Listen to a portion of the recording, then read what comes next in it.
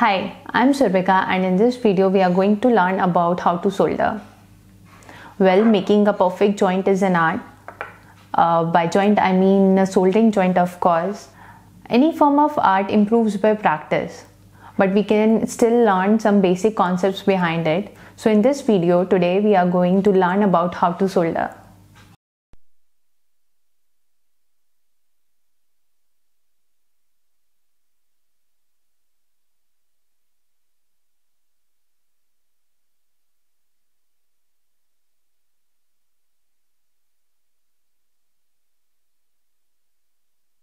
With all simplicity, soldering is a technique to join two metals by means of a metal alloy which is called as solder. The solder is heat melted between the uh, two metals to create a strong physical bond and electrical contact. There can be whole different type of metals which are required to be joined using soldering. So solder uh, can also be of different types but today we will specifically look into the um, different types of joints which are required generally in the electronic assemblies on uh, either PCB components or joining of two wires. So the equipment used to heat melt the solder is called soldering iron. Today I have three different types of soldering iron here. They have uh, all uh, very similar but not so similar uses.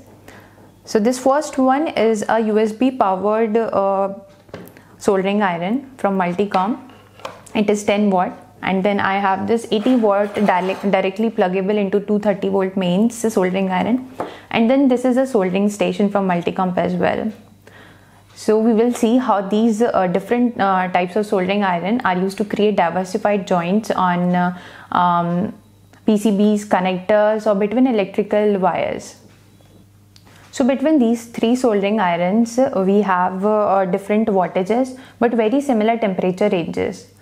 So um, power wattage uh, basically determines the speed of heat up of the soldering iron means the higher the wattage the lesser time it will take to reach to the operating temperatures. While making an electrical joint, the soldering iron transfers its heat to the metal and the alloy and eventually ends up cooling itself down. So higher wattages help in regaining or maintaining that operating temperature back. Just before we jump into uh, trying out uh, how these soldering irons do their job, we should first have a look at how electrical soldering iron actually works. So this is a 80 watt uh, directly pluggable into 230 volt mains uh, soldering iron. Uh, it has a nice assembly for replacement of the tip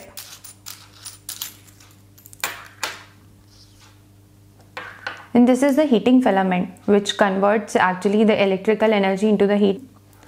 Then uh, for the replacement of the tip, we can have um, as much wide tip as we required according to the joint that we are uh, going to make.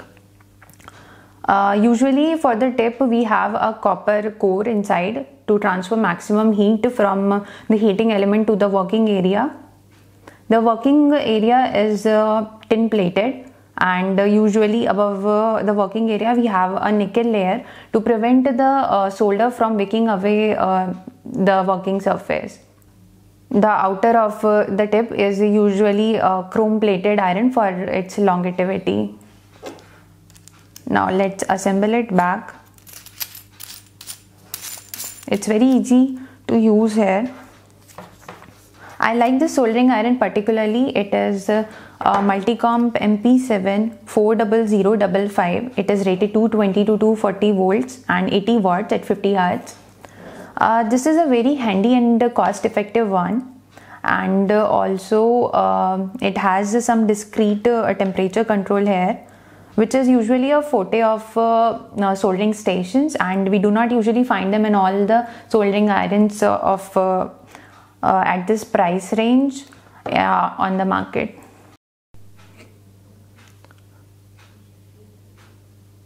For solder wire, we can have lead or lead free one. The lead free soldering wire is a bit difficult to melt, but this should be fine for us.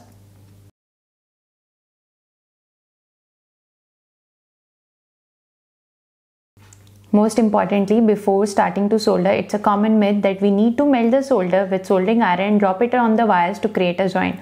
This does not work. Rather, we need to transfer the heat to the metal area which is required to be soldered and then gracefully bring the solder wire in contact so it automatically flows over the surface and creates a strong bond.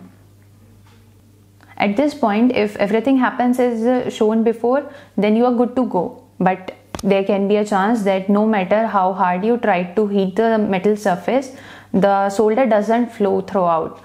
This can be because your metal surface is not cleaned up properly so for that there comes the use of the soldering flux.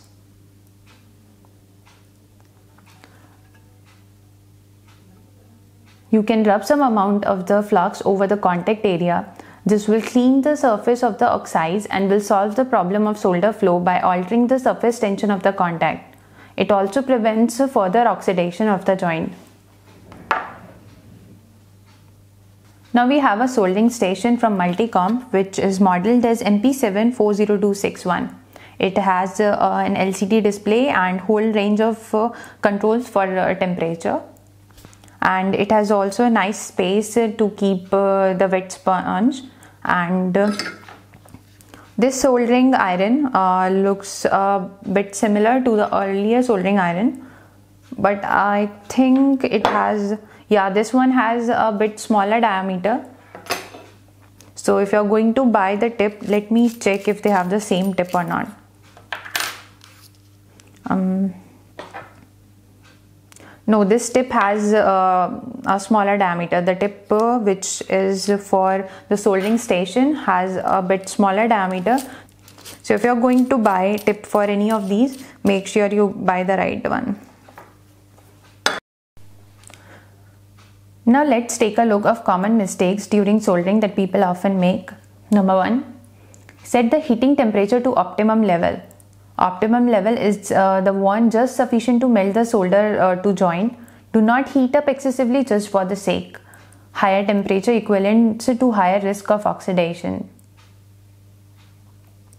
Second, the soldering tip should be cleaned. Rusted tip will not be able to transfer the heat properly for cleaning of the tip, we can use uh, either damped sponge or copper wool. You want to use distilled water for damping of the sponge. So everything is perfect. Let's try to solder these wires. We should use thicker uh, solder for thick wires. If you don't have the thick soldering wires, just fold it multiple times to gain thickness as you want. So the solder goes smoothly in the metal contact area and we have a fine joint. Soldering of the SMD components is a tricky job and it all comes to the art which I was talking earlier about.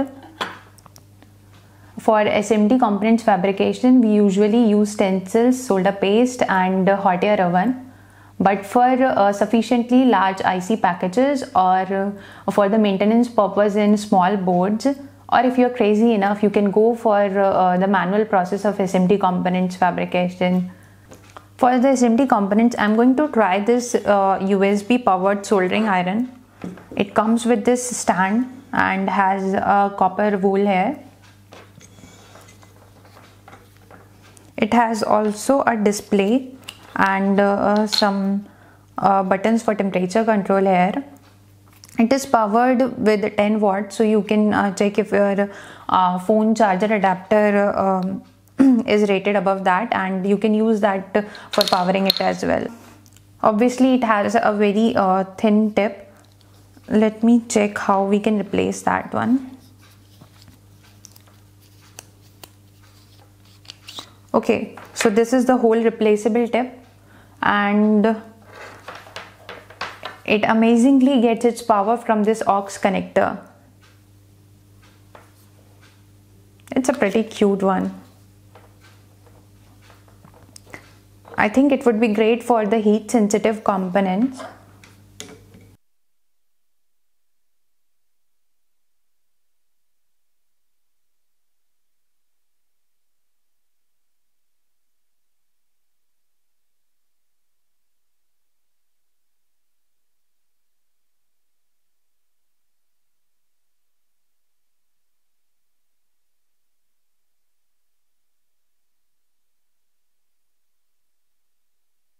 Think we have reached to the end of the video And if you have any questions remained unanswered about these soldering stations or other components from Multicomp, you can reach out to me uh, by writing your questions in the comment section directly. Thank you for watching.